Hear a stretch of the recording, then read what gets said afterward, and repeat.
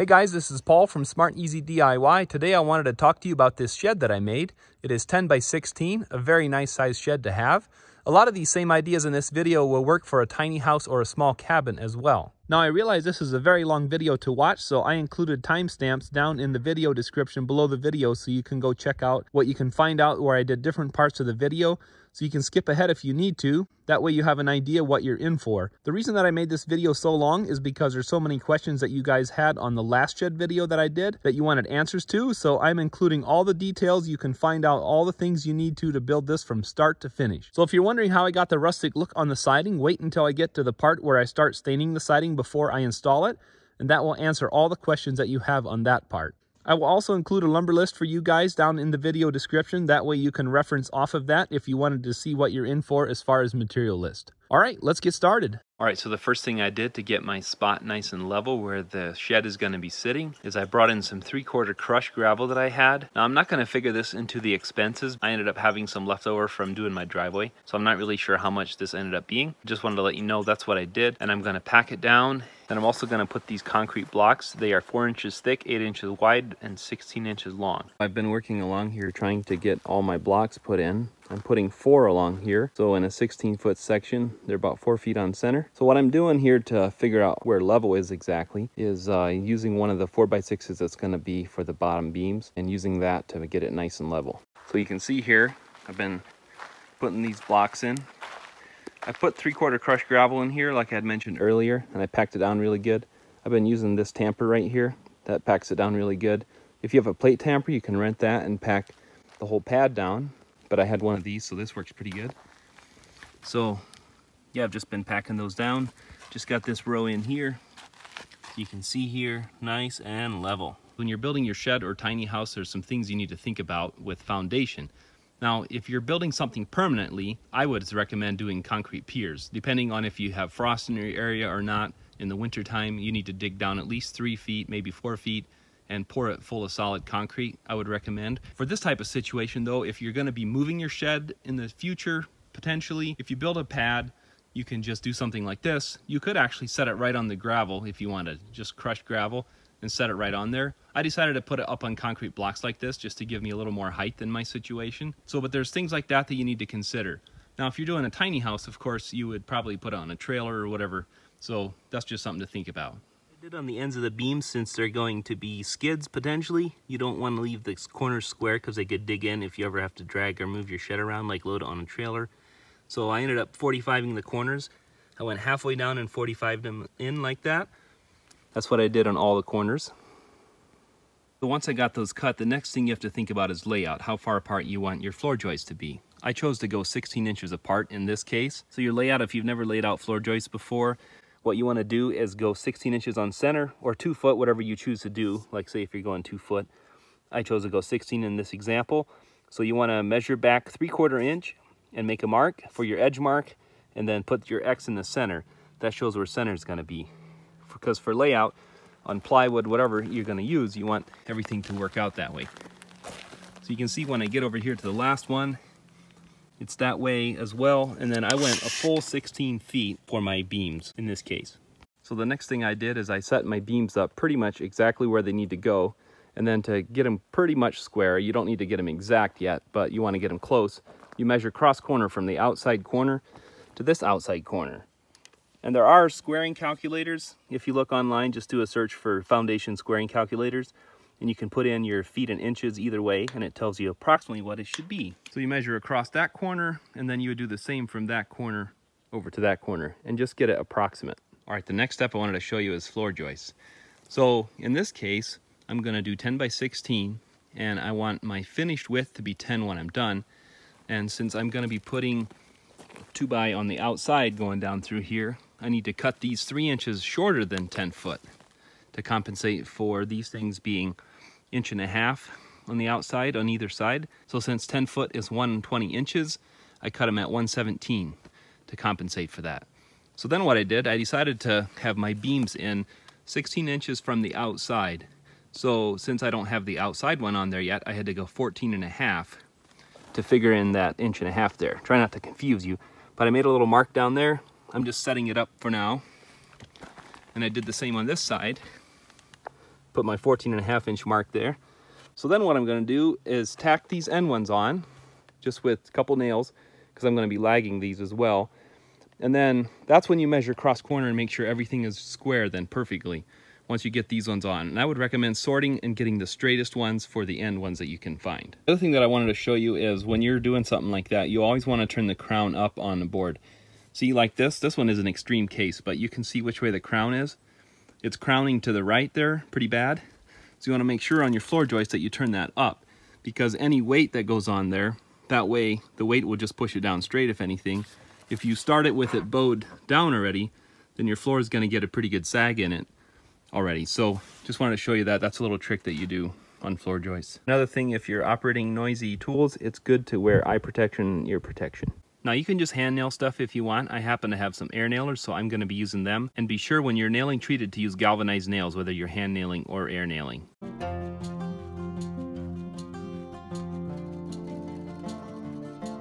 So now what I did is I nailed the end ones on as you saw in the time lapse, and then made sure I measured cross corner, make sure that it was square, and then to make sure that I get a nice straight line, I put a screw in each end and put a string up like that. And that way I can bring it right to that string and nail one end and then go over and nail the other end.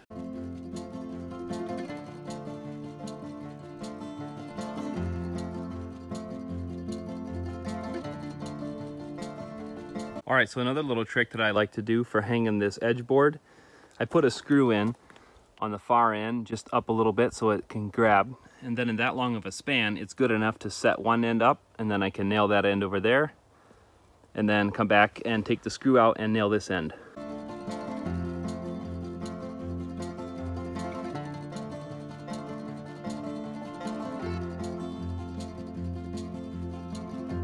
So when I was nailing this outer board, I didn't have quite enough nails to put three in each one, so I ended up adding some exterior rated decking screws, some three inch, and that worked out good. Right, so then I was thinking about how to fasten these a little better into this beam to make sure they don't move.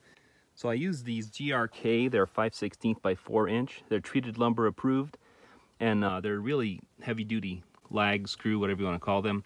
I put them in with my impact. I did pre-drill this front one right here. The siding's going to cover it. You can see it's nice and flush. So the siding's to cover that. I used a drill just to make sure that it started correctly. I didn't use a drill on the others, they worked fine. For instance, what I did is I put one on one side of the joist, one on the other side of the joist. I just kind of alternated them down through there. If you want, you could add one on either side, but I think they bite well enough that I wouldn't worry about that part. Now here's a good thing for you to do. Try walking across all the joists and see if you can walk across without falling. All right, maybe you shouldn't do it, but if you're comfortable on floor joists, it's a fun thing to try.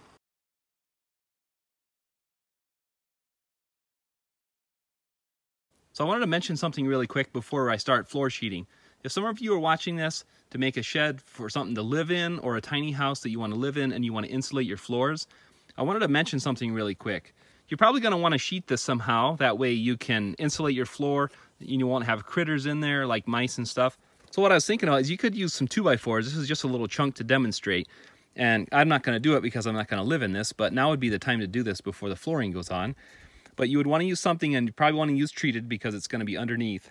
This is just a thought I had, something for you guys to think about.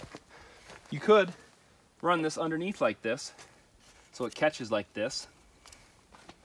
And then you could toe screw it on each side like this, on each end over there. And then in order to do this from the top, you could also put a screw in like this from the top, like toe screw it, like down through the middle like that and then that would hold this up. And then you could sheet plywood in between each bay from the top down. Then you don't have to worry about getting underneath. So this is just another demonstration.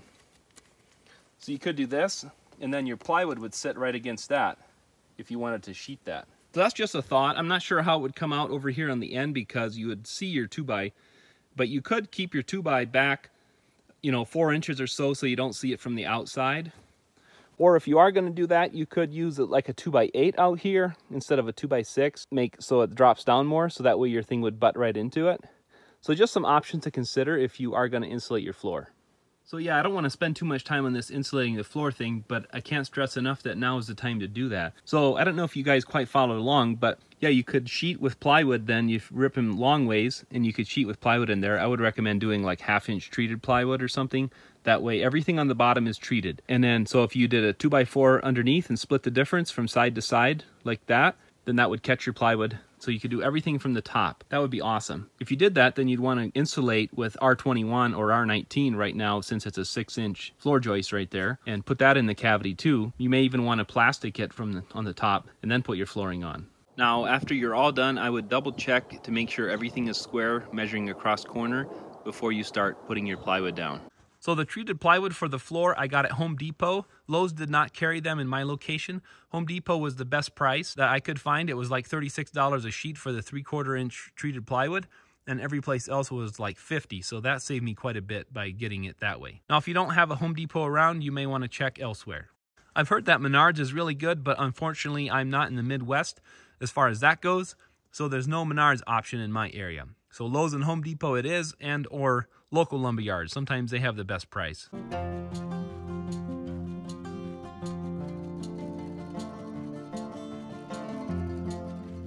I got the floor down, I wanted to mention something. Normally I don't just like to run the joints all the same like this. On a shed I didn't figure it really mattered. And also I wanted to make less joints in the floor here. Because if I wanted to split this next one halfway, I could have put a sheet there, but I would have had to cut one in half and start with a four there, start with a four over there, and it would have made two joints instead of one. So normally you don't do this, but on a shed, I think it's just fine. Also the same for here because otherwise I would have had to do some joints as well. So you want to check your sheets and make sure they're the right length. These ones ended up being a little bit longer than eight feet, so I just ran them long all the way and then cut them off later. So that's something you can do. Just snap a chalk line and just cut them off when you're done. Okay, now it's time for trusses. What I like to do is use this nice flat deck, since you have a nice flat deck to work off of, and use this for laying out the trusses. So the first thing that I like to do, I know that this is exactly 10 by 16, this shed is, it's 10 feet wide, so I know that the bottom of chord of my truss here, I'm gonna want exactly 10. So what I do is cut it exactly 10 and line it up with the outside edge. Never mind the plywood, you wanna go with the actual framing in case your plywood is a little bit narrow. And then, so I do that on both sides. And then I just stick a screw in it on each end. Also for your pattern that you're making your first truss with, because you're gonna be cutting all the others according, it's good to pick out nice and straight two bys. That way you at least have straight ones to make your pattern with. So then what I do is I go on the halfway point, which in this case is five feet, and I measure and make a line a little ways on your floor here. Don't worry, it'll erase over time.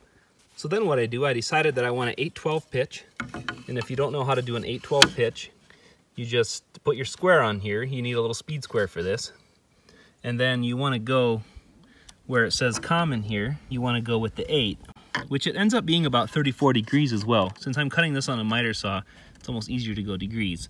So you want to go 34 degrees. So that's how you get your peak. You want to do that on both sides of the peak. And then what I like to do is put a screw in each side to hold them together nice and tight. And then you got to make sure to line the peak up right on that mark there, that center line. And then you want to line it up, up and down until you hit right on the point right there. See how that comes together? And then what I did is make a, mark on there now. So now that I got it all in place, I know where I got to cut this. So that's the first step is to get that mark. And you have to make sure the peak is lined up at the same time that these are lined up on the outsides there. Once you make your mark and you cut these off, I think mine ended up being 55 and a half degrees on that part, but you want to double check, make sure yours is the same. And then once you get it all together, then you can screw the peak down so it stays. At least that's what I do. And I put it down here, and then I measure off of the building here, the framing, and I wanted it to do seven inches. I'm gonna do an eight inch overhang, and I'm gonna do a one inch rough cut fascia board, so I want 8 inches when I'm done, so I want to make this 7 because I want it to be 8 all done with the 1 inch board on the outside, if that makes sense. So then you just make another mark here at an 812, and then that's how you get that one. Then you would do the same on this end, get your overhang that way, and then you can measure from the peak and just make sure that they're both the same when you go to cut all your rest of your pieces. A couple things I wanted to mention about the trusses here. This is a critical part getting these trusses done right. So once you got these all ready to go, you got them all cut. Basically, I'm gonna put these on two foot center You can put them closer together if you want. I think two foot is plenty. So that means that there is to be nine trusses total. There's to be seven in the middle, and there's to be two end trusses. They only get patches on one side, on the inside. So you have to cut enough patches for eight total because you're doing, like I said, seven complete ones and two end ones. So you can figure that as one when you're figuring out patches and stuff. But when you're figuring up cutting this stuff, what I do is just lay, once you get your pattern here, you get it nice and straight ones and everything, like I said, then you can lay them on top of your lumber pile. And you want to make sure when you're building trusses to turn the crown up. Remember I talked about the crown earlier on the floor joists? You want to make sure to turn the crown up on the trusses and on the bottom chord and on the top ones. So always crown up.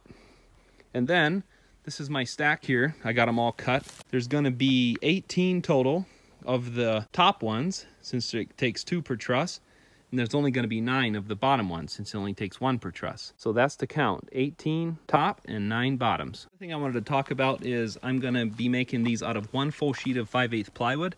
So I wanted to do an experiment here. I just used some Luan I had laying around and I wanted to see kind of what looks good measurement wise. What I came up with is three inches here, 10 inches here, and 10 and a half wide. All right, so here's my full 4x8 sheet of 5 8 plywood that I laid all the truss patches on. What I wanted to show you here, the reason I went 10 and a half for the width there on these heel patches is because I was able to get it to come out really good over here with just a little bit of waste on the end.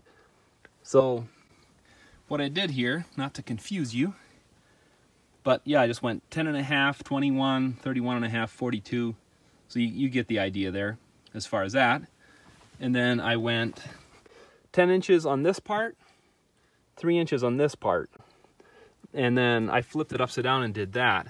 The reason that I did that is because it came up to, from the bottom. If I laid it out that way, it came up to 26, just over half. And then I was able to lay out a whole bunch that way. And originally the peak patches here, I had laid out 16 by 8, but I had to scrunch that down a little bit to 7 and 3 eighths, 14 and 3 quarter.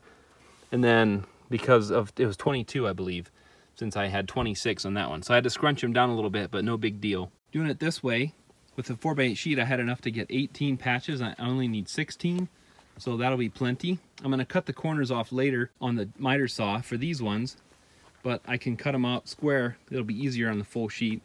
And then on this part, yeah, I got 36 this way, and I only need 32. So I was able to make it work with one full sheet. All right, you guys, I'm ready to build trusses. So what I did, I put a block down there, I put a block on either side of the peak there, so it should just fit right in there. Nice jig. And one down here.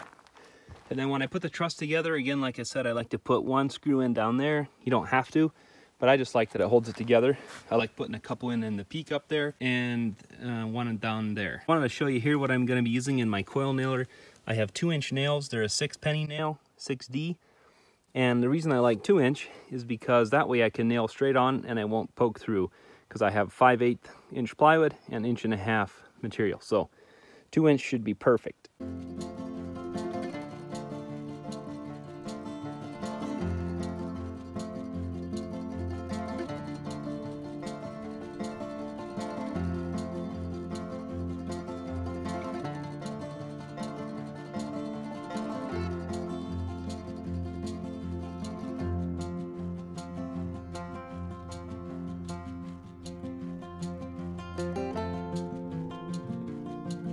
Trusses are built. I set the end trusses off by themselves. They only have patches on one side. The rest have double patches.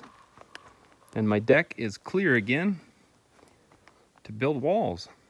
So for laying out walls, I cut the top and bottom plate, both of them at 16 feet exactly to go on the end over there. And then to lay it out, you just do the same as you did for the floor joists. Except I'm going two foot on center, so this time you go 23 and a quarter and the X right on the two foot. Basically you stay a three quarter back from two foot on center. Then 47 and a quarter, just keep going on down the line. Then when you get to the end, of course, just put an X there, but you can see there, 16 it is. So I got one wall built last night yet when I was working. It was kind of dark, so I didn't record it. I'm gonna record building the rest of the walls so on my last shed video, I did one that has steel siding and steel roofing. If you're interested, you could check that one out too. That is an 8 by 12 building.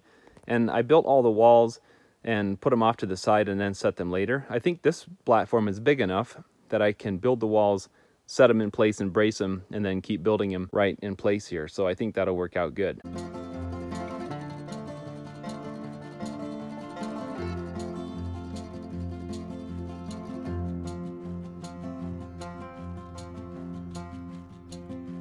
So you saw the time lapse of me standing up the wall there. So yeah, what I did is, it's not windy at all, and this thing is pretty stable. So I just stood it up and I was able to put some screws in the bottom. I could have nailed it, but I don't have any more galvanized nails, so I'm just using the deck screws, the three inchers, putting them down into the plate there. Then I put one brace in the back for now, put it level, and then I'm gonna do this wall over here, build that and do the same thing. And then I should be able to tip the other walls, the end walls into place. So that brace back there will be sufficient for now until I get all the walls built in together and then I'll final brace all of them. Another thing I wanted to mention when you're building a wall, I always sight them and pick out the two straightest studs for the end because it just makes it easier to make the walls come together nice and level and straight if you pick out the straightest ones. Also, just like the floor joists, make sure to always turn the crown up when you're building a wall, that way you turn it out. It's just common practice and it's a good thing to do. That way the studs are all uniform. You want to practice on a shed project. That way you get it right when you're building a bigger project too.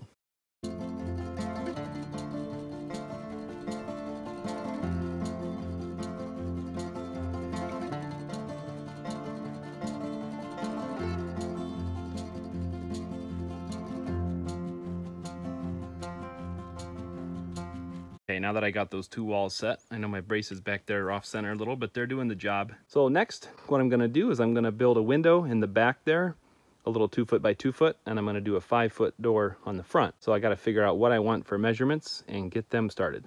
So as I'm laying out this back wall here where the window's gonna go in, I wanted to cover this in case you don't have any experience with this. If I don't cover it, I'll probably get comments wondering why I didn't cover it. So if you are experienced in wall building, you can skip this part but if not, this might be of interest to some people. So what I wanted to share here is I want the window centered. I measured what the length of my wall is going to be. It was 113. I cut it just a little bit loose so it'll fit in there, stand up okay. So the first thing you want to do for your window is you want to find center, if you do indeed want to center it. So I'm at five foot there. You can see where my center mark is right there. And then what I did is from there, so my window is 24 by 24 rough opening, so I have to have 24 in between, so it's gonna mess up my layout a little bit. So what you wanna do from your center line is you wanna go one foot and put the X on the other side of it because the stud needs to go over to have room for the window. So you wanna do that on both sides, and the rest of it you can do on normal layout. Now for this, you wanna hook on the outside of the outside wall, or if you're doing this not hooked onto the wall in place when you're laying it out, you have to put your tape on three and a half to account for that wall. And then you want to just do this on normal layout, just like that. So two foot would be the center. So you want to mark a three quarter inch back and make your mark. And if you do want this to be on layout, see this is going to mess up layout a little bit because of the window, like I said. Technically the stud would be centered on this line instead of being on the edge. For a shed, it's okay. If you want to add something above and below the window, you could double it up and put one above and below. But for a shed, we typically don't do that. But yeah, you would just continue layout the same for the rest of it. I think I had showed this in a different spot in the video, but to make a mark, you can just use your speed square and just mark both of them. That way you only have to mark one plate, put the next one right beside it. Then you mark both plates all in one that way. The other question I may get is why just use a single top plate? Why not double? Typically in house construction stuff, you do double. But for this, for a shed, I think single is plenty strong enough because my trusses are going to sit right directly on top of the studs. So it's going to be weight bearing all the way down. So I don't see the need for a double plate. But if you want to do a double plate, then you just have to figure that into your overall wall height. So guys, if you aren't already, be sure to subscribe to my channel for future videos. And also go check me out on Instagram at SmartEasyDIY. I'm usually pretty active on there. You can follow me to see what I'm up to on the daily basis. What I just did there with the window is I wanted from the bottom, I wanted it 48 to the bottom of the window. So I measured up 48, made a mark, which is four feet. Then I wanted two foot in between there. So I went six foot and then went on the other side of that. So the actual opening here should be 24 by 24. That's usually the rough opening for a 24 inch window because they make the window 23 and a half by 23 and a half. But you'll have to check specifically what you need in your situation. Thing to think about when you're framing your walls, if you are going to want to heat this and insulate it for some reason, like you want to live in it, then you probably will want to go with a thicker wall, like a 2x6 wall instead of a 2x4 wall. And in the grand scheme of things, it won't add very much money to your whole project. So that is definitely something to think about because you'll get a lot more R value with having a 2x6 wall than having a 2x4 wall. So something to think about as you're framing. Okay, so this is how the front wall came out. I ended up doing a five and a half foot wide opening because I'm going to do two double doors and I made it six and a half foot tall. I figured that should be good for, I'm a six foot guy, so I can walk in there just fine. Ended up coming up with four and a half inches of spare, so I put three two by fours in there on edge. That way I made up a solid header just in case I need a solid one. So it turned out nice. So I just laid it out the same way as I did the window. I figured out where center mark was and laid it out accordingly.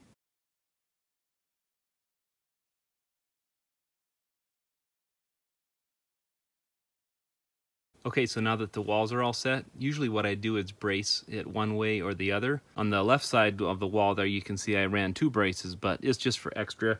I just had an extra one, so I put it on there. But usually you can just run it in one direction or the other. Just make sure everything is straight and square and level, and then we're ready to set up for trusses. So as I'm getting ready to set trusses here, I put this block in here and I just let it stick up about three feet up there so it'll catch the top of the truss. That way it'll keep it from flipping over. I just simply use a scrap 2x and screw it together on edge there since it's nice and strong that way. Just run it down. This is just a 2x4 8 and then it'll yeah stick up about three feet there and it'll catch the peak of the truss.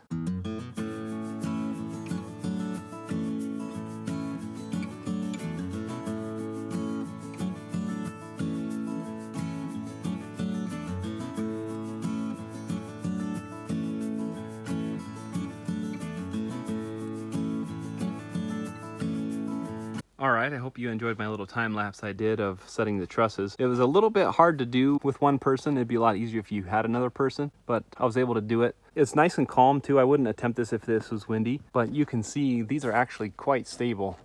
You can't wiggle them a whole lot, but for now, I'm gonna brace them better before I start sheeting. But I just wanted to show you what I did. For opposite tension, I put two screws on this side, and then on this side over here, opposite side, I put two screws on this, so it kind of gives them opposite tension, so it kind of holds them straight. And then what I did here is I just lined them up with the stud, and then I knew it was right on layout.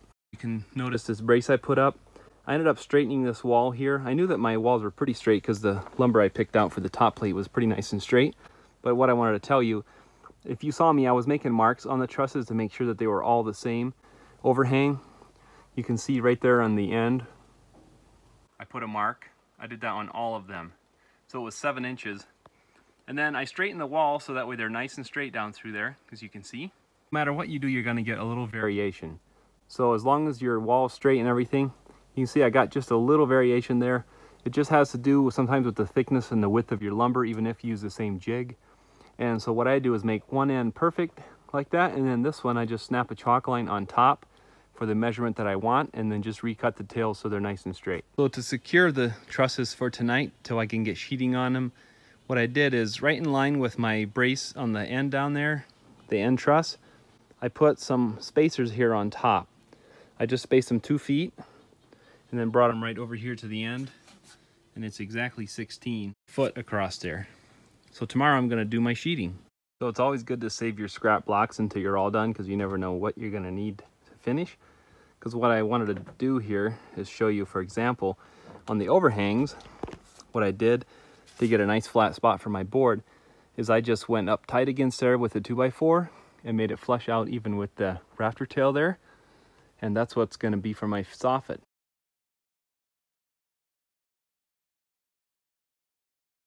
So you saw the time lapse of how I was doing these soffit blocks here. And this works really good. I have a one foot square. If you don't have something like that, you can just use a regular one. Works really good to put one nail in and then use your square, make sure it's nice and square, and then finish nailing it. And then to finish the end out, you don't have to put a block on the inside, but it makes it nice you have something to nail against. Then I just hold a little block here, and I would recommend white wood instead of fir larch for this because it's not nearly as splitty, it's soft. But just cutting this little block here, you can just hold it and then trace it from the back side and get a perfect angle there. Also in this build, guys, any tools that I'm using or anything that I think might be helpful to you, I'll include a link in the video description below the video that you can check it out there. It's a new day, fresh start. So far I have about a day and a half into this build. I'm not figuring any time for the base prep. I just did that a little bit in the evening, so I have a day and a half so far. So now I'm ready to start sheeting the roof with plywood. I'm using 5 8 inch plywood. Half inch just didn't seem like heavy duty enough, and I personally don't like OSB. I don't like the smell of it and all that. I think it works fine if you use the thicker screws when you're screwing your steel into, but I like the strength of plywood. And I did want to mention that really quick. For the 11 sheets that I needed, I needed one sheet for my plywood patches for my trusses, then I needed 10 sheets approximately for this roof here. Lowe's actually has a lot better plywood than Home Depot in my area. And the sheets at Lowe's were $20 for the plywood and $14 for the OSB. So it was about six bucks a sheet. So uh, really it's about $60 difference in the roof material whether you go OSB or plywood. So that's your call what you want to do. I thought in this grand scheme of things for the overall build, since I don't like the smell of OSB, that for $60 it was worth it to me to get plywood. Also, the sheeting comes out a little bit strange on this since it's 16 feet, which would come out good for two sheets, but I need some overhangs as well which are going to be about 8 inch overhangs, but I'm going to figure a foot. So what I'm going to do is I'm just going to let the plywood run long and cut it off. So I'm actually going to put it in on the fourth truss, which would be 6 foot. I'm to leave 2 foot sticking out over and then cut a sheet in half and then do the same thing on the other end. So that's what I'm to do for one run. And then probably I'll split the difference, put a full sheet in the middle on the top run and finish it off with two partial sheets. When you're doing the overhangs, this is just a thought that I had, but one thing you can do is watch out for damaged sheets and use the bad ends for cutting off for the overhangs. Like here, this whole end of the plywood here is delaminated. It has some issues.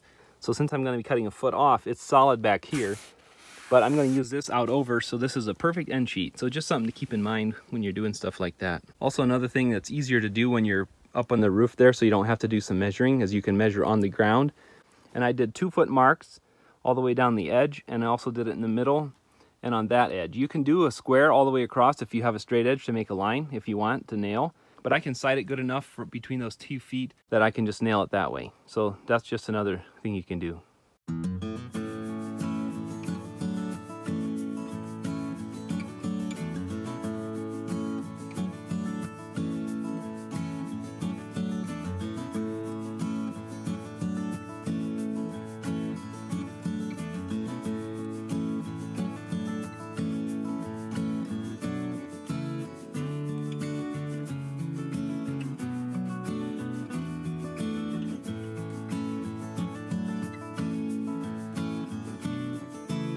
So I got this side of the roof all sheeted and I got the overhangs cut off so they look a lot better. Now I wanted to mention something really quick. It doesn't come out very good as far as waste with this dimension just because it takes over a half a sheet for width. It was 32 inches that top sheet was and then it also takes over a half a sheet for length. But I think I might piece it a little bit on the other side. I'll see what I come up with to save a sheet, but if not, it is what it is. I'll use the scraps for something, maybe building shelves in this shed in the future. So it won't go to waste. You can always use plywood scraps for something. The other thing I wanted to say is working on a hillside like this, it's not bad, but a little bit of a hillside. I really like this Werner ladder. It's an extendable ladder so you can work off of either side and you can make it more level and stuff. I know Little Giant is another brand that's readily available. So they're a really handy ladder. You may want to check into that if you have a lot of hillside work to do, but it's do it yourself on nights and weekends, so you just do what you got to do with what you got. You know, that's pretty much what DIY stuff is usually. Another thing I wanted to mention is very important to be safe. If you don't feel safe doing it the way that I did it, I experimented with different things, putting the sheets up from the outside, bringing them up from the top down with the top layer. You just can experiment with whatever you got. And it is a lot easier with this size of a build to do it with two people, but I did it by myself just to show you that you can do it by yourself if you are careful and all that, but just don't do anything that you feel unsafe. All right, so I did want to mention when I did the other side of the roof here, when I sheeted it with plywood, I did end up using two strips that were 16 inches wide right there to make the 32, the remaining of it. I ended up having to do that and do a small piece over here to finish out the end. But by doing that, I was able to save a sheet of plywood, so that really helped out. All right, guys, I got my roof sheeting all on on both sides and trimmed off. I'm waiting on Staples to put the vapor barrier on, but I wanted to talk to you about these nailers that I'm putting on the side here to nail the siding to. I figured out that just putting one run in the middle is enough for support for the siding I'm going to use because I'm doing rough cut board and batten. So if you need more support, you could put two runs in there. And on the top here, I decided in my particular instance, I'm going to keep it down six inches from the soffit there because the soffit's an inch thick, so that's going to drop it down an inch. And then I can nail my boards, but then I'm gonna put some trim horizontal under there and then butt my battens into it. So I wanna be able to have something to fasten my battens into as well. So that's why I dropped it six inches to the bottom. So that's what I did there. Then I just split the difference for the middle run. So now that I did that, I'm using up all the pieces of wood that are too crooked to use for anything else. This is a really good chance to get rid of them since you're doing a lot of short blocks. So there's always crooked pieces to use up. So now next I have to do this end over here and I have to do the back and also the front here.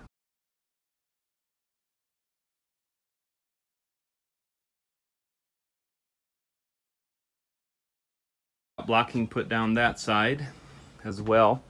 Now I got to do it on the end over here. I just got to take my brace off here. I left it on till now for doing the truss there, the truss support. Everything's braced good with the sheeting on. So my son left me a present here, some rubber bands off the coils of nails. He's like, Daddy, I put some rubber bands on there for you. So now that I come here to take the block off, I find his present. So I'm all done framing back here. This framing here is a little higher than the sides, but I just wanted to split the difference up there in the middle. And then also I framed around this window here so I have plenty of something to nail to for putting my trim in when I do the trim. That's why I added some all the way around. And then actually up there in the end truss, I decided that I need to add a 2x4 below the other 2x4s in the truss. And I could have built this into the end truss. So that's something to think about when you're building trusses that you could put that in if you want to then. But it does add more weight to set the truss. So I chose to do it later. This is an inside view of adding that and I ended up actually putting another plywood patch in there just to support the middle because I had plenty of scrap plywood pieces. So I did that and it's pretty easy to do. You just cut the same angle as you did for the peak, an 812, and then you just hold it up against what I did anyway. Then I scribed the line on the inside and cut it off. Then I added it and I nailed through the plywood patch again with the same two inch nails up there as well and then down there. So that just gives you something to nail to once you put your overhang on, then you can still nail your siding to something. All right, now it's time to put synthetic underlayment on the roof. I chose to do synthetic roof underlayment instead of just felt paper, tar, tar paper. You can put that stuff on too if you want. But this stuff here I really like. I got this at Lowe's. You can get it at Lowe's or Home Depot. It's Owens Corning's brand, and it's a 10 square roll, so it does a lot of it. It'll be plenty. It'll actually be more than what you need. Now, if you just need a partial roll of stuff like this, you could check Craigslist or Facebook Marketplace and see if there's partial rolls just to save some money. But if not, this was like 90 bucks a roll or 80 bucks a roll. Most places, if you get some other brands, if you get the heavy duty stuff, they want like 120 to 150 bucks a roll.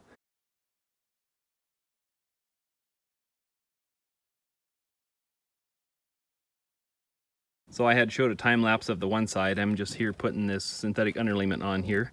I was able to use this ladder here. You can kind of see I got it opened up and stood up here. And then I can just kind of lean against it and reach up there to get the last row done. So that worked out pretty good. Okay, so I'm standing on the peak of the roof and I got it all dried in over there. I just ended up cutting a sheet in half and putting it over the peak. I wanted to mention something really quick. If you are going to vent your ridge, you'd want to cut this out later when you do that and you want to use stuff in your ridge to vent it properly. I'm not going to do that, just I'm just going to use it for a shed. But for a tiny house, you may want to do that. So I've been putting some house wrap on here. What I decided to do is use my decking here since it's nice and flat and because it's kind of an odd size, I didn't want to cut the whole roll since I'm doing the sides first. So it worked out pretty good to do it in here. I just had to cut a section and pull it up over that wall a little bit, make sure it's long enough. It'd be 16 feet and cut it the whole way. Also, the reason I use house wrap in this demonstration is just to show you that you can use it like if you are going to want to insulate and heat your building, then you'll probably want to do house wrap just like you would on a normal house. So that's why I put Tyvek on here, just in the demonstration. I ended up getting Tyvek on this whole thing. On the front here, I had to piece it to have enough. I used a roll that I salvaged from a different project that had a little bit on it, but I was able to just to get enough. I didn't quite get it full width in the corners there, but it'll be covered by overhang, so I'm not really worried about it. But I did want to show you there that I did piece it. I did find this Tyvek tape here that works really good. So I did all the joints with that just to make it seal off better. That wrinkle there looks kind of bad, but I did what I could to get it out. Also guys, just a couple thoughts I had. It kind of depends on what you want to do with your building. You could use this for a cabin or a tiny house, whatever you want to do. If you were to use it for a cabin, I had this thought where you could easily have loft in half of it. Like you could do the normal trusses, like say eight feet or so, like halfway in this example. And you could easily put like a little bed up in there and stuff. There's quite a bit of room. And then you could build cathedral trusses on this side and you could just leave this open for the most part and it would feel a lot more open in here. Because with just doing a seven foot ceiling it doesn't really feel that nice and open for like a cabin feel. This works perfect for a shed because I want to store stuff up in the ceiling here. That's why I did it this way. But just ideas, you could build a cathedral truss which you would run this bottom chord up closer to the top chord and you would just design your truss that way. You can Google search cathedral trusses if you're want to see more what that's about. But if you want to have this completely open all the way, you could also use like 2x6 rafters and just clear span it all the way up. You'd have to do a ridge beam probably and do the rafters and you wouldn't even need to build it truss design like this.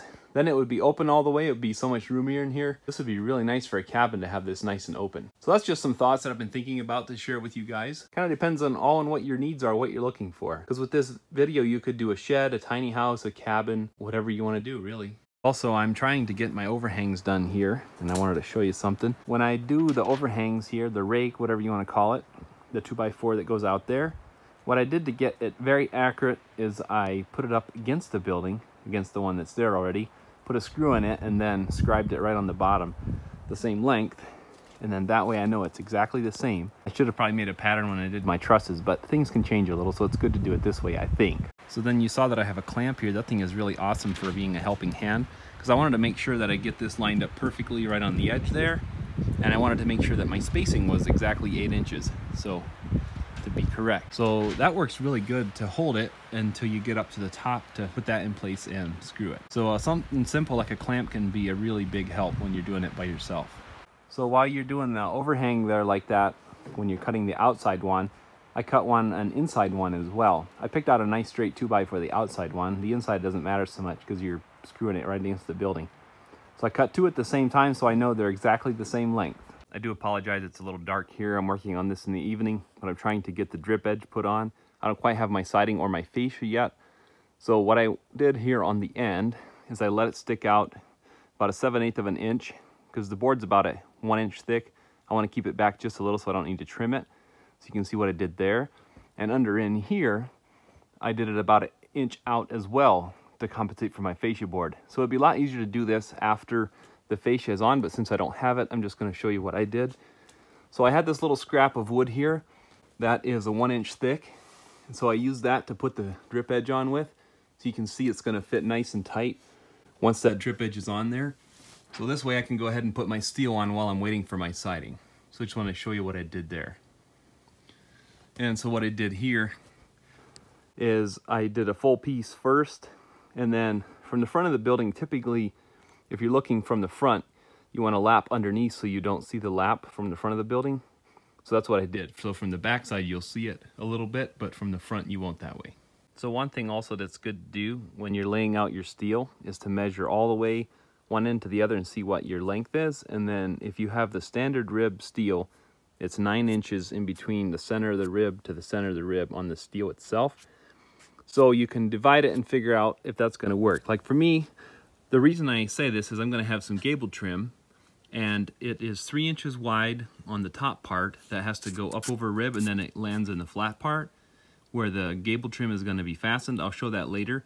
But because of that, you need to do your math and figure out where you want your rib to be so your trim will clear it on either side. So you have some leeway because if you have to, you could like cut this rib off when you start the steel right here if it helps you to get it right on that end. But in this case, it's going to be perfect if I just leave my steel right here. My fascia board is going to go out here even with this, but I'm just going to keep right even with the building. And then my rib's going to come out good on the other end. So I want to show you that. And then because of that, I use this inner closure here to seal off the bottom so insects don't get up in there so I think that's a good idea. They're really pretty inexpensive. You can get them with your steel. And then I measured and put this on according to layout where my rib's gonna be. And I'm just running it right close to the bottom so it'll seal off right at the bottom. And then you kind of want to do that as you put your steel on. So I'm pretty sure two inches is what I want for my overhang, what I want it to stick down over. So I measured up at the bottom, made a mark two inches on the outside edge. And I did the same over on this edge over here on the leading edge. When I do that, and this is the edge you want to start with because it laps over top of that sheet next. like this wide one goes underneath and then this one here goes on top. So you'll see as we go along.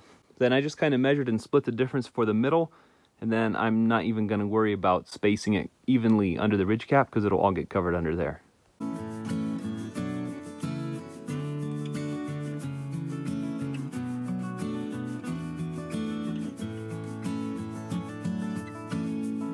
Now that I brought most of the sheets over, all the full sheets that I could, now I need to cut the remainder piece here and I just measure back. Usually you measure back to the center of the rib.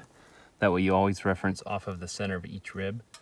So, but not to confuse you, you can just measure back and just uh, cut it even here or however you want to do it. You'll have room basically once this fascia gets on here, that's all going to get covered with that gable trim. So yeah, in this short of a span, just screwing it on the bottom and one in the middle and on top is just fine. The ridge cap will even screw through everything since it's long screws.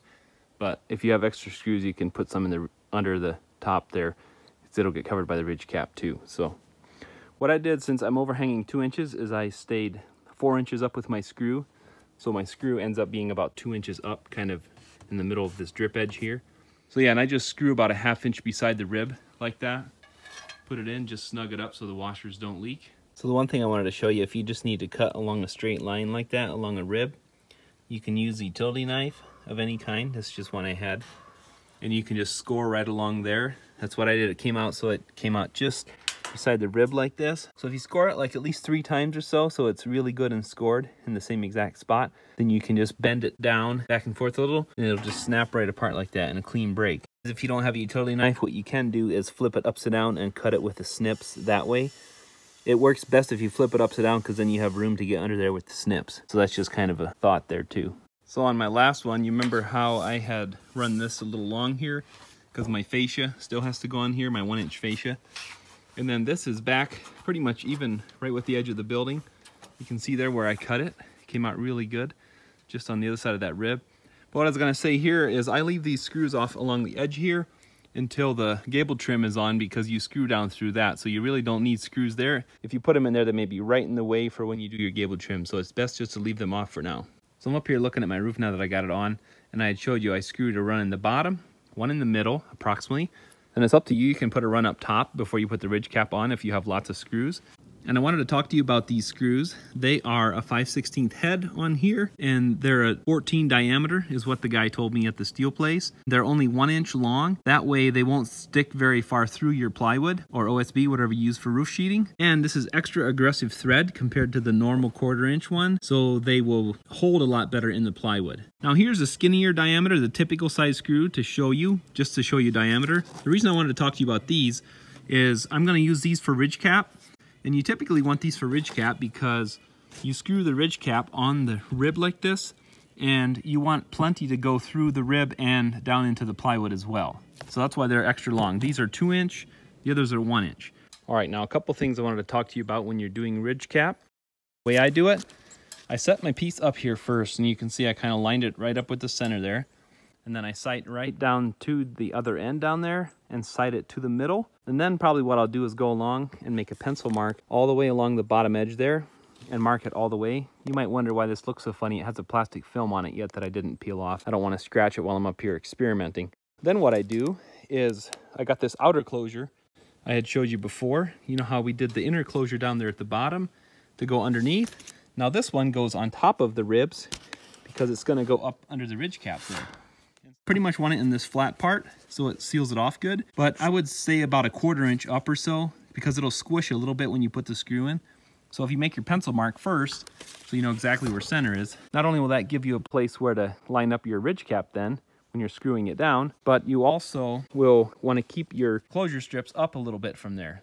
Since I'm still going to have a one inch board on there, I'm going to let this hang over about an inch and a half because that way it'll stick over a little bit over my finished gable trim on this edge here. If it's too much, you can always trim it back later if you don't like it sticking out over a tiny bit, but I like it sticking out over a little bit. So excuse all my dirty footprints on the roof, but this is with all the closure strips in place. Got this all marked out, did my pencil lines, and I got them relatively straight across there.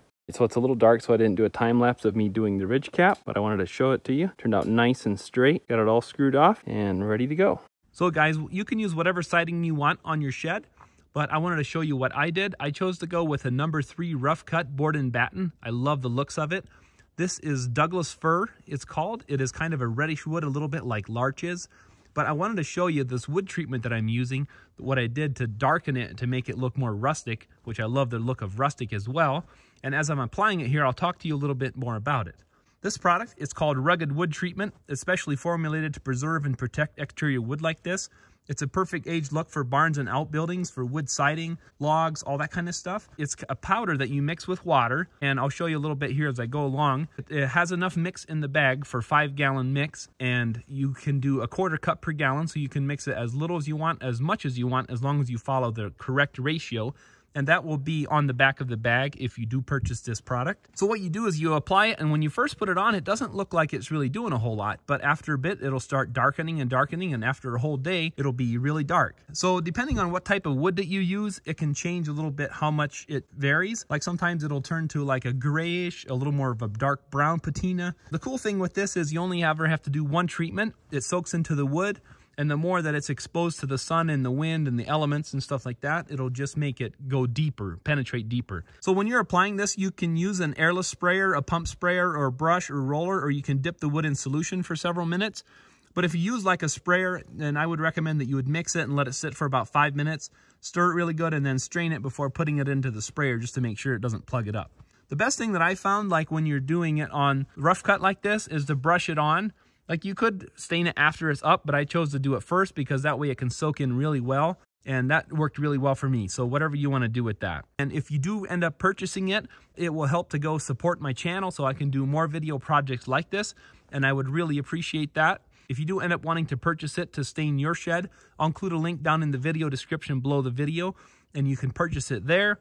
Be sure to leave me a review and let me know how you like it how your project turned out. Also, you can tag me on Instagram at Rugged Wood Treatment, and you can also tag at Smart Easy DIY. But that way, I'll know what your project turned out at because I'd love to see what your projects turn out like when you do this.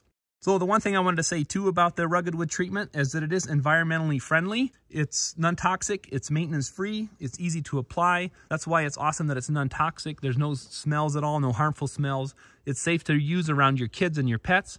The only warning that I would give with it is that it does stain concrete, so do not apply it close to concrete because it'll permanently stain concrete. And also make sure to wear gloves when you're handling it because it will stain your hands. It'll eventually come out, but it will stain your hands kind of a rusty color. But that was kind of the main thing I wanted to say about that. It's getting a little dark here, but I decided to put my soffit up underneath here. I did it all in one piece, 16 feet exactly. And this is a six inch one. You can see here there's a little bit of a gap, but the siding is gonna go on here, and then the trim board is gonna go under there too, so that's plenty. So I wanna share a really quick trick here. If you're doing a long piece like this and you need to know where to stop it so you know where to nail it when you're in the middle, because you have to pretty much go in the middle, I just screw a block on the outside like that, and then as soon as you butt against that block, you know you're right in place. Then you just start in the middle and line it up and nail it, and then work your way to each edge. Now, when you're doing your soffit, you may want to think about venting your soffit. If you're going to be heating this building, like for a tiny house or something, you may want to vent it just like you would a house. So you may want to consider putting some venting strips in between your boards, ripping your boards narrower, putting this venting strip in between. Here's a picture of an example of what I'm talking about. So that's just something to think about when you're doing your soffit. Then I did the fascia on the front there. That's a one by six as well. Since the bottom one under there was exactly 16, this one with the overhangs, I had to use two tens and cut them in the middle there. So what I did is I made it even on this one right here. And then the outside one's gonna run down past even with that. And then, but first I'm gonna put the soffit under there too. Got a little different story today on the weather. It's been snowing this afternoon. But I'm back to doing some more fascia here. Like I said, I used a 10 footer on this end and a 10 footer on the other. So what I did is I just measure and then splice it halfway on that joist. And then what I've been doing is just two nails because there's only about five inches showing. So I do a nail in there and I stayed back a little from the end on the bottom so it doesn't split. But I've been nailing into the soffit board and into the rafter tail. So there's two nails in each one and I'm using like an eight penny, two and a half inch ring shank galvanized nail. So you want to make sure to use galvanized for nailing exterior like this, but also the two and a half inch ring shank really hold. So then what I do is I just measure all the way out to the end and measure back and then cut that piece, put it up. So the way this has been coming out, see how it can just shove up in there behind my drip edge that I put up? And then I've been letting it hang down about a half an inch. I just think it looks really good to have about a half inch reveal under there. I've just been working in the evenings here, so it's been a while since I've been able to get good clear footage because it's been snowy or dark. But I wanted to show you here what I did. So you saw where I did the soffit down the sides there and the fascia. And then what I did is I put soffit under here. I ended up ripping it back a little bit just to save on boards because the siding is going to go up there and cover that. Then there'll also be a trim batten. But what I did is I just cut that at an 812 on the bottom since that's what the pitch of my roof is. And I cut it at an 812 up there at the peak. So then I just made it flush with the outside. And then I'm going to cut the ones for the outside here. They're going to be 812 top and bottom as well. Ended up having to get a different board because the ones I had stained weren't the straightest. So I got this one. I'm going to have to stain it later because I don't have time tonight. But I wanted to explain why it's a different color. But anyway, what I wanted to show you how you get this first one in place by yourself See, I wanted it lined up right here, and then I'm gonna cut this tip off right here, so that way it's flat underneath there. So it's not focusing, but you can kind of see I marked it under there, then I'm just gonna cut it square. I'll show you after it's installed. But the thing I wanted to show you is for the first piece, you don't have anything to butt against up there, so you can measure it and get it really close based on what the rafter itself measures, because it's the same measurement, pretty much, give or take. So then what I do is I line it up on the bottom here where I know it's gonna be exactly flush with this other one, and then I put a screw in there about two feet up just to hold it for now. It's gonna get covered by the metal gable trim there, so that's why I put it up there because it's gonna be hidden later. So then you can climb up here to the peak and make sure that you're lined right up with your plywood there. And you can see it's lined right up with the joint all the way. So you know you're right in the right spot. It seemed like a lot of work to do it that way and you can do it by yourself that way. But if you do have another person helping you, it would be so much faster. But just wanted to show you how you can do it yourself if you have to. So never mind my mess. I'm right here in the middle of cutting this. So this is the edge trim that I was talking about. And what I do is I just measure the length and then make a square mark all the way across. This still has the protective film on it as I'm doing it. And then the first one, I just cut it square up in the peak. And then the next one, I'll cut an 812 on it. I'll show you kind of as I'm doing it. So then this piece, you remember how I actually marked it square there? I found out that it hits on the ridge cap up there. So what I did is cut about an inch over. You can see my cut. I saved it so you can see. And then make sure that the outside is square. But as long as this is all hidden under the ridge cap, so I just came out to a point and then came down and came an inch back because it hits against the top of the ridge cap if you don't do that. So several things I want to point out since I'm doing this in a different order than you might be doing it because I was waiting on my fascia. But I think this is easier to do once the fascia is on because you can put it up tight like that and nail it. So in this case, what I wanted to share with you is when I did the roof, I screwed the ridge cap all but the last one, but I found out it's easier if you take about three rows back, take three of those screws out, so you have just a little bit of room here to wiggle this. And then under in here, do you remember this closure strip that we did? And we ran it all the way to there. So what I found out is wherever this comes up like this, you just have to cut that back. Cut it a little bit long, and then that way it'll squish against it. So this shows better what I mean. See how I cut that back? I even cut it a little short probably, but and then you want to cut it back and then lift it up a little bit so your thing can slide underneath it, your corner trim. Well then here's where I was saying that this one here I just cut square and then the next one I'll cut an 812 so that way it comes down like this on the peak. So I just slide that all the way up in the peak there. And then once this is all in place, I'll come back up and screw the top, but I'm gonna go down next and do the bottom. So this is the bottom and what I do is make it even on the bottom with the roof there. And then I found out if you have a clamp or something, that really helps to hold it for you. Just gives you an extra helping hand. Then what I do is I just sight up like this and then try to make it nice and square with the, your fascia so it's standing straight up and down. That's how you know how far in and out to push this. And then you can screw it right in line with your other screws. The other thing I wanted to tell you is it's worthwhile using an eighth inch drill bit and pre-drilling this because there's so many layers you're going through. For that right there, you're going through quite a few layers because your bit tends to wobble. And if you don't hold everything just right, if your screw gun slips off, it can make a mess. It's best to use a drill bit, pre-drill it, and then put your screw in that way. Then what I do on the side that I'm working on is I put the screws back in the ridge cap there, make sure everything's down nice and tight. And then this end one, I just put it kind of in the middle of this section and I pre-drill this one as well and then put that in Oh, also while I'm doing it, I make sure that this is pushed in nice and flat and square against the fascia when I do that. Then next, I'll put one down in there, pre-drill that one, and put one down there in that row of screws in the middle. So what I did on the first one is I just measured down off the bottom of the roof. That's what I'm doing there too. On the steel right there, just hooked onto the steel. Then I come up here and measure the peak. You can see I'm right at 85 inches. So if I do that and then make an 812 on the end of this, it should fit right in there nice and tight. So this is the next piece I'm cutting. That's the bottom down there. This is the top. So what I was showing you is I'm gonna cut an 812. So I went right to my measurement, 85 to the long point. Then I'm gonna cut an 812 angle on there. And then this part here, I'm gonna notch this out as well. Again, like I did on the other side, where it goes up against the ridge cap. Okay, so I got the bottom done. I got this in, I got all the screws in in my ridge cap. Got that cut done there. So then I wanted to show you these little green trim nails that I have. They're like an inch and a half long. And this is what I like to use for on the face there so it doesn't stick out. I put one about four inches down or so from the peak, just anywhere close to the peak. Put one in the middle and put one at the end.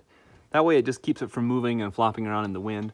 A lot of people put screws in and you can put screws in the same that you use for the roof. They match as well so you don't have to get these, but I just think it looks a lot cleaner this way. So that's why I chose to do it. So I wanted to show you that option. So on the peak here, I kind of hate showing this because of how the tin snips mark that up a little, but that's actually about a 16th. Like you only notice it because it's on green. So you could touch it up if you're worried about it. But what I was gonna say is these screws here, I discovered after the fact, if you remove them after you get this all done, and then put them back in slightly at a downward angle, it kind of pulls this tight. So it's pretty much tight. You can see there, it looks like a big gap in the video, but it's only about an eighth of an inch. So it's not very much. If you are worried about it, you could potentially put a screw in on the top there, another screw, but I chose to just leave it since it's nice and clean. So that's what I ended up doing there.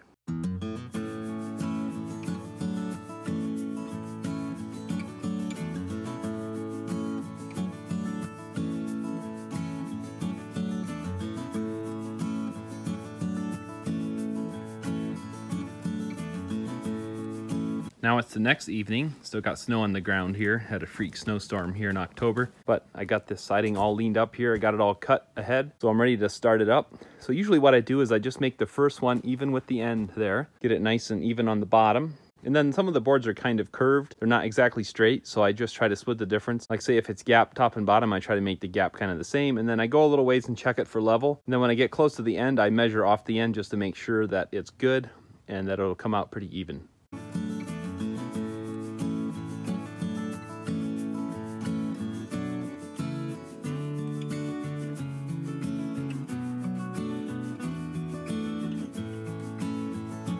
A lot of stuff in the way, but I wanted to show you. So now I opened my window up. I've been keeping it closed just to keep the weather out till I'm ready for this. Then I measured exactly center in the building. I'm gonna put the siding on first, then install the window and seal it, and then put the batten and trims around it. So I made a mark all the way up just to confirm that it's the center of the building, which it is. So I cut some flat on the bottom and 812 on the top, and then do the ones below the window since they're cut. And then I can just go ahead and keep going around the window and all the way to the end.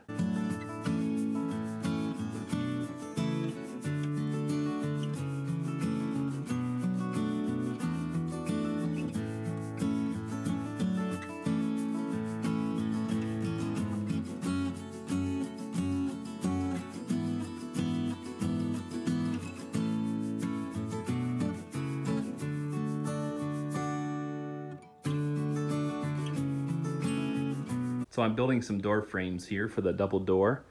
What I decided that I'm gonna do is up here, I'm gonna lap up over onto the top an inch and a half there on that two by. And then I'm going to lap all the way down to the bottom. So what I did here is I just built some door frames. I 45 some two by fours. I measured the overall opening and then I'm going to make everything a quarter inch gap so it has some room to swing. So say for example, this door opening is 60 inches wide, so half of that would be 30.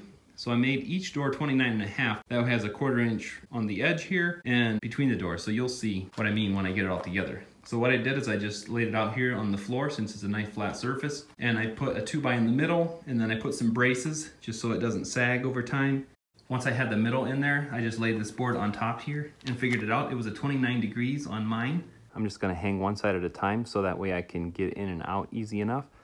What I did, since I wanted a quarter inch gap, I decided it's probably easiest to build this door in place. So I made a shim there, quarter inch block, on the side and on the bottom in that corner. And then I did one up there as well. I didn't even do one up there, I just kind of checked it to make sure it was okay. And then I clamped it there with a clamp on the inside, kind of helped me hold it. Then what I did here, I put a screw in. I didn't put it in all the way, but I made sure that it was even on the outside and I just put a screw in there just temporarily to hold it.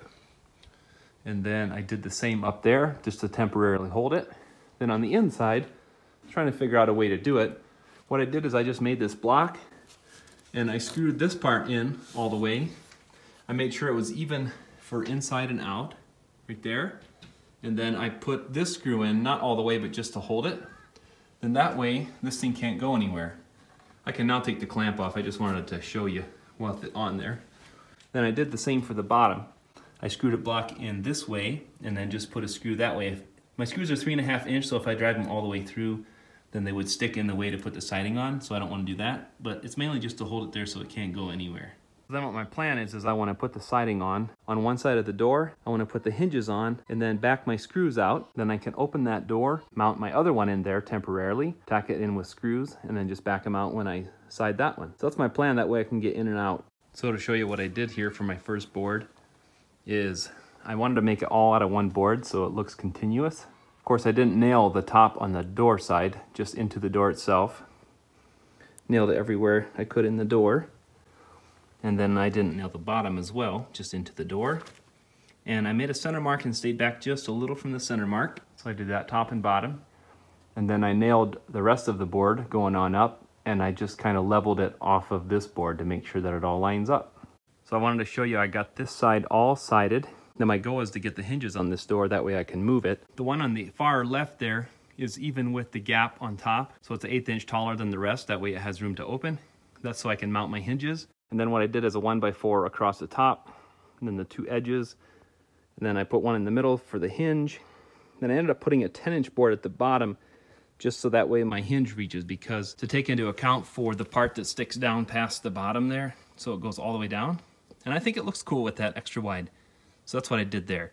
So now I got to put three hinges on here and I wanted to do heavy duty hinges. So I wanted to show you what I'm doing here. I thought black would look really good on here. These are National Hardware extra heavy duty hinges. They're six inches and I'll include a link in the video description below the video where you can get these if you want. The best place that I could find them, no place locally carried them. I had to get them online. So wanted to show you that. And then I'm gonna use quarter inch bolts that I painted the heads on with Rust-Oleum, which I'll show you. So for the bolts for the hinges, I just used this Rust-Oleum. It's a primer and paint together.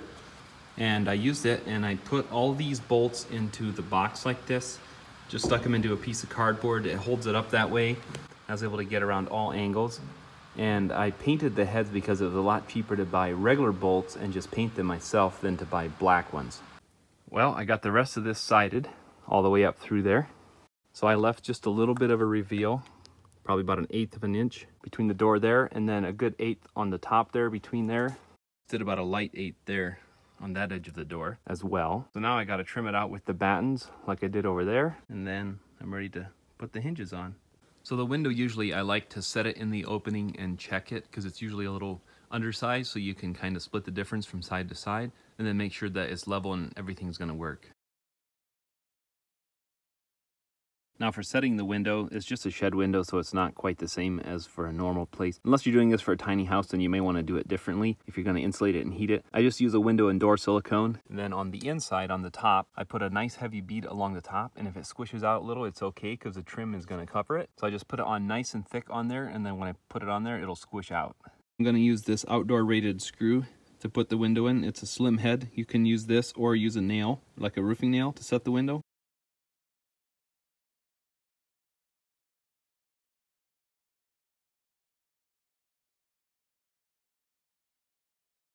Okay, a couple things about the window quick. If you're just doing this for a shed, this is a great window. This is like $45 at Lowe's for a 2x2 window. That's really hard to beat for that price. A lot of them are more like $70, $80 at other places like Home Depot. But this is a great option for a shed. Now, if you're gonna do a tiny house where you're gonna live in it and it's gonna be heated and all that, you may wanna look at a little nicer window like a very well insulated window. Also, white was the only option. I kind of thought about doing like a clay colored to go with the shed, but I thought, you know, for the price difference, I'm gonna just do this one and I think it'll work great. So I wanted to show a couple trim details. Never mind my bright colored trim board up there. I stained it, it's gonna turn darker. I like this side better than the other side, so I flipped it over and stained it before I put it up. And then, so what I do is cut an 812 to go up on that end. And then I cut it right to the long point there. And then I trace the backside with a pencil, even with the other. And then I cut that and then nail that one up. And then on this side, going down the side here, I'm gonna put a one by four up there too for a batten. But on this side, I put it up on here first, on the outside, and I make it even with that one right there. Then this one is gonna lap over. See here, this is just a little trim detail, but this is how it came out. So it's gonna be just over two inches. I'm gonna cut in square and then go up at an 812 the rest of it. I'll show it to you once I'm done. There's the cut detail I was talking about over on the other side with an 812 on part of it and then square on the rest. So on the board, that's how I draw it out. I do an 812 for a little ways, and then I measure in on the flat part, which was two and a quarter in my case for the square part, and then mark it out. So I cut this with a circular saw. You can try some different methods if you want, but I cut one way in, then the other, and then finish it out just with a knife or a jigsaw or whatever you have on hand. You can even use a handsaw if you need to. I wanted to mention, as you're doing trim out here, if you have a little leftover of the rugged wood treatment, you can just keep it in a bucket out here I have the brush there too in case you need to touch it up. But whenever you make a cut on the end of a trim board, you don't want to have to touch it up later. You can just dip it in this solution right here just for a couple seconds and then you can put it up and it's good to go. You can see here, like here's a cut end that I did. I did that and so that'll darken over time, but it's a lot darker than it was. So I did that with that. Any kind of cut ends like there. So anything like that where I do it, I dip them the bottoms the tops in the solution. Then you don't have to brush it on later. And of course once you're done you just dip this down in the solution for a little bit. And then once it's up for a little bit it'll change color.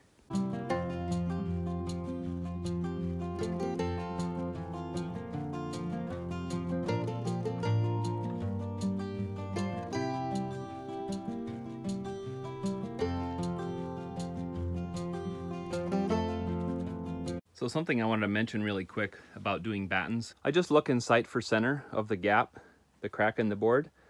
I don't get it perfect, like I don't measure it out perfect, because I think that's part of what makes it look rugged and rustic is to just do it by eye. So I've done a lot of it, so I don't really even think about it, but I just nail the top, sight it, and then I sight the bottom and nail it. And then as long as the battens aren't really crooked, which I can just kind of tell by eye, then I nail the middle. So if you have a really crooked batten, you may want to do the measurement based on the gap there, but I would recommend just putting it on there by eye.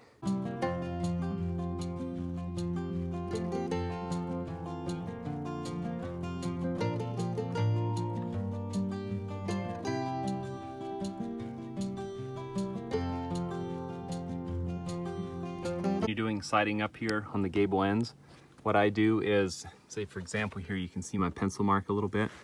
I measure from the center and measure like just under inch and a half because my boards are a little bit less than three inches. So to split the difference and then I measure up from the bottom and measure that long point. Then I cut an 812 pitch on the top of that one and just line it up with the bottom down there. So there's this National Hardware latch that I really wanted to use on my shed because it's really rugged and heavy duty, has good reviews and all that. But this part right here isn't long enough.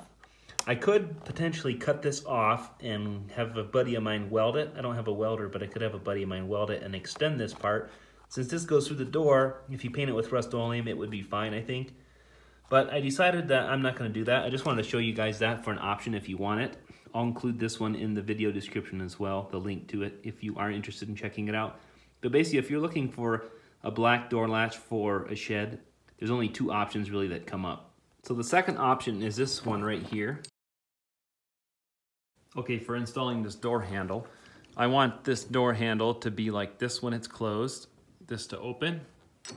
See how it works? It's kind of floppy right now just because I'm working on it. But so what I did here is I centered it in this one by four for up and down. I wanted it centered up and down and this way. And I drilled a 13 32nd drill bit hole through here. I didn't want it too sloppy. That's the size that'll work right there. So my initial thought was I was gonna put bolts in here too so I didn't have to worry about somebody taking this off. But since this goes through here and gets bolted in here, I don't think there's much worry about taking it off. My concern with putting bolts through here, through the door, is that this handle will rub and won't be tight then. So then it won't latch tightly. So you pretty much have to use the screws. So these screws are square number one. So then I put this part on, that's a 764th Allen wrench right there. So when you turn the handle, it locks on the other door, just like that. You wanna put it on nice and snug. So the one nice thing about this latch is that it is lockable. When the key locks it, you can't turn this at all. So it's very secure that way. Like I mentioned, it does have the square drive right there, but you can take those loose, but you still can't pull this out because the handle in there is locked in with that Allen wrench. And that thing actually does tighten down really good. So I think there should be no concern about security, somebody breaking in here. That's also why I did carriage bolts all the way through if I just did lags, somebody could back out the lags, but this way they're gonna have a lot harder time. So for security, I recommend the carriage bolts, and me personally, I found it's a lot cheaper to just paint your own carriage bolts with Rust-Oleum instead of buying them black, because if you're already painted, they can be quite expensive. So you have to weigh that out and decide what you wanna do. So on these doors on the shed, the one that stays shut on the left, I got these latches. They're a rugged heavy duty latch, and I'll include a link down in the video description where you can find those as well. And they just screw on there, and then they're spring loaded. You can pull them up out of the way or down out of the way, whether they're top and bottom, and they work really well. Okay, so here is the first look inside the shed now that it's all done and cleaned out. Open it up. So that's one door. Gonna undo the bolt here. those things, they lift down and uh, into place. Here's the upper one. I apologize for the lighting in here. It's getting a little dark. But wow, check out how much room is in there.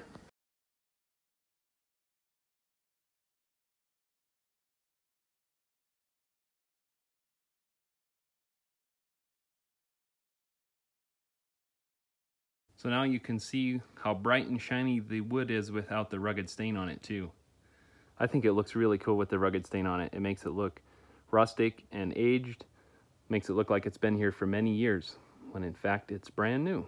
So total material cost for this shed, I have $2,300 in material. I will do an itemized breakdown for you down in the video description of what everything cost.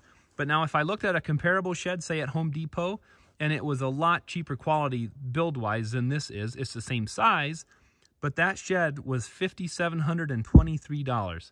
So that's a lot of money when you're thinking about the price difference. Now, yes, I do have some time in building this, but I wanted to show you that you can do a lot better option yourself. And you know it's built correctly this way. The ones that I saw anywhere else, I was shocked at how poorly they were made.